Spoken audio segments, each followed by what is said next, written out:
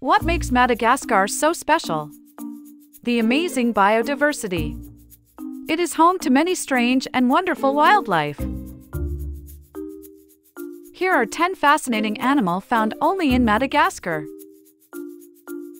1. Tomato frogs.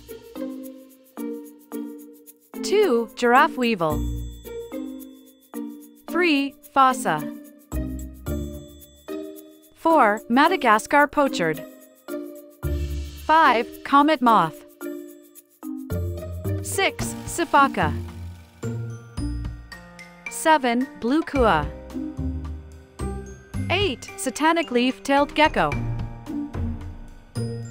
9. Aye-aye. 10. Lowland streaked tenrec.